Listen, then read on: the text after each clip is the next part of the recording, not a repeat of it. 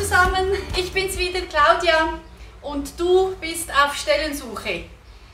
Ich habe dir gesagt, wenn du auf Stellensuche bist, im Moment, wo der Arbeitsmarkt überschwemmt wird, brauchst du Aufmerksamkeit.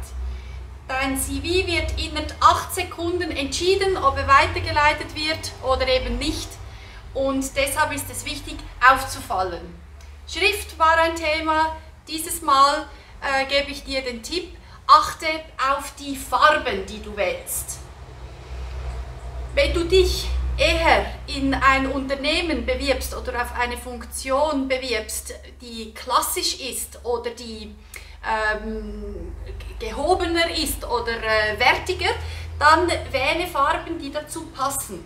Also nicht irgendwelche Pastelltöne oder äh, zu bunt, sondern eben klassisch schwarz, dunkelblau, ähm, oder auch braun, je nachdem, ob es auch traditionell ist, das Unternehmen. Hingegen, wenn du dich auf eine jüngere Branche bewirbst ähm, oder in einem Umfeld bist, wo viele, wo das Produkt auch ähm, bunt ist, jung ist, auffallend ist, dann kannst du dich auch entscheiden für eine äh, helle Farbe, wie zum Beispiel ein Blau, ein helles Blau, ein Grün oder vielleicht sogar gewisse Sachen äh, mit einem Rot.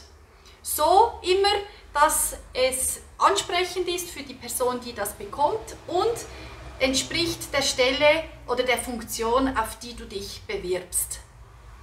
Viel Spaß beim Bewerben wünsche ich dir und wenn du noch mehr Inputs willst, dann geh doch auf www.cv-check.com Career.